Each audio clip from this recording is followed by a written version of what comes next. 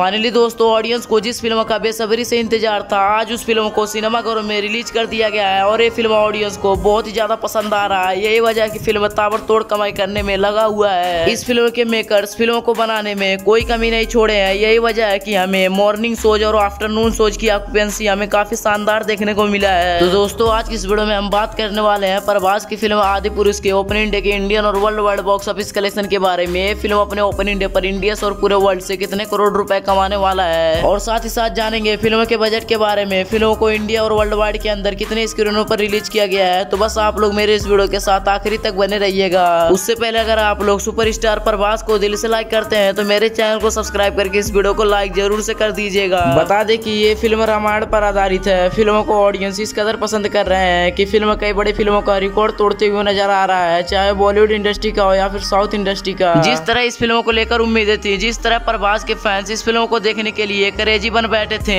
और आज जो दिन आ गया है प्रभास के फैंस की तरफ़ से इस फ़िल्म को काफ़ी शानदार रिस्पॉन्स देखने को मिल रहा है। बता दें कि ओम रावत के डायरेक्शन में फ़िल्म बनी थी। फ़िल्म में काफ़ी ज़्यादा बी होने के कारण फ़िल्म का बजट हमें काफ़ी ज़्यादा हाई देखने को मिला है। बता दें की इस फ़िल्म का बजट लगभग 500 करोड़ रूपए के करीब है। फ़िल्म में हमें प्रभास के साथ साथ कृति सेनन और सैफ अली खान लीड रोल में देखने को मिले हैं। वाकई में सभी की एक्टिंग और परफॉर्मेंस सिनेमा घरों में ऑडियंस का दिल जीत रहा है। यही वजह है की फ़िल्म बॉक्स ऑफ़िस पर रिकॉर्ड तोड़ कमाई करते हुए नज़र आ रहा है। बता दे कि फ़िल्म जितनी भी कमाई कर रहा है, वो केवल हिंदी लैंग्वेज में ही कर रहा है। बाकी तेलुगु, मलयालम और तमिल में ना के बराबर फ़िल्म की कमाई हमें देखने को मिल रही है। अगर बात करें फ़िल्म के first day box office collection के बारे में तो उससे पहले मैं आप लोगों को बता दूँ कि फ़िल्म को इंडिया के अंदर लगभग सात हज़ार स्क्रीनों पर रिलीज़ किया गया है। तो वही फ़िल्म को ओवरसीज से लगभग तीन हज़ार स्क्रीनें मिली है। कुल मिला के फ़िल्मों को पूरे वर्ल्ड में लगभग दस हज़ार स्क्रीनों पर रिलीज़ किया गया है। इतनी अच्छी खासी स्क्रीन मिलने के बावजूद अगर कोई फ़िल्म कुछ खास कमाई नहीं कर पाती है तो लानत है उस फ़िल्म पर। लेकिन यहाँ पे प्रभास की फ़िल्म आदि पुरुष काफ़ी बेहतरीन कमाई करते हुए नज़र आ रही है। बता दे कि आज ये फ़िल्म इंडिया में नेट से पचासी करोड़ रुपए के करीब कमाने वाला है तो वही फ़िल्म पूरे वर्ल्ड से डेढ़ सौ करोड़ रुपए का आंकड़ा पार कर रहा है। दोस्तों, यहाँ पे प्रभास की फ़िल्म आदि पुरुष पठान फ़िल्म का पहले दिन का रिकॉर्ड ब्रेक करते हुए नज़र आ रहा है। वैसे दोस्तों, क्या आप लोग आदि पुरुष फ़िल्मों को देख चुके हो और आपको कैसी लगी? हमें कमेंट में अपनी राय ज़रूर से बताइएगा। दोस्तों, आज की इस वीडियो में बस इतना ही। मिलते किसी एक और वीडियो के साथ। तब तक के लिए गुड बाय।